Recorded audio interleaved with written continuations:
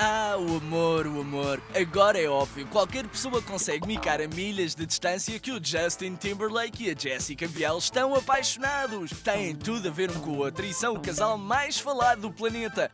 Vejam como são queridos quando passeiam a Tina, a cadela de Jessica. Parece que, nesta altura, Justin estava a tomar conta dela sozinho porque Jessica andava a viajar pelos Estados Unidos para gravar um novo filme. Até Tina tem saudades dela. Apesar disso, há uns dias atrás, quando a Jessica voltou por um fim de semana, ela aproveitou para passeá-la enquanto Justin jogava golfe num dos clubes mais exclusivos da América. Parabéns! Mal podemos esperar pelo casamento. E se fosse a Tina a levar as alianças ao altar?